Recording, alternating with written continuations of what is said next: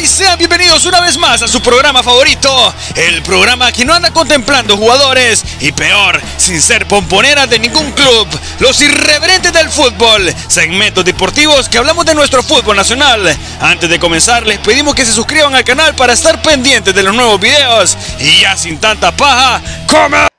A menos de 24 horas del trascendental duelo de cuartos de final de Liga de Campeones de CONCACAF entre los Tigres y Motagua, las emociones se mantienen a flor de piel. El batacazo que el ciclón propinó a los Tuzos del Pachuca en octavos de final convierten al Motagua en un rival de respeto y en el club regio lo reconocen.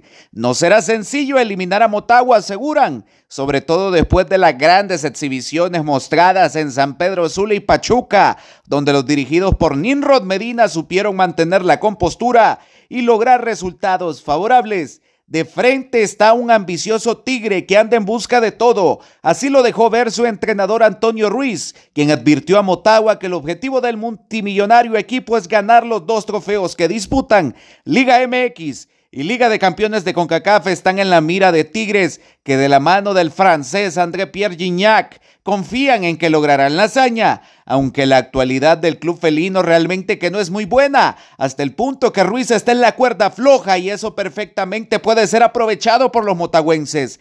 Tigres no gana un partido desde hace un mes, cosecha un empate y cuatro derrotas. Son séptimos en Liga MX y pelean por mantenerse en puestos de liguilla. El Chima Ruiz no es muy buen entrenador y no le llega ni a los talones a Diego Coca, que precisamente dejó el club hace poco más de un mes para vestirse de verde en la selección mexicana. Hay diferencias abismales entre ambos clubes. Tigres está valorado en más de 2 mil millones de lempiras, mientras que Motaguas apenas llega a los 10. Pero en el fútbol todo puede pasar. Si Motagua ya eliminó al actual campeón del fútbol mexicano, ¿por qué no comenzamos a pensar en cosas más positivas? El Olimpia ya hizo las del pato. Real España como siempre haciendo el ridículo. La única esperanza que queda es el Motagua bajo las órdenes de Ninrod Medina. Ya se vendieron más de 15 mil boletos de los 28 mil que se pusieron en venta para el partido. Y todo parece indicar que será un llenazo. Ojalá que Motagua sea cobijado por su afición y logre un importante resultado de local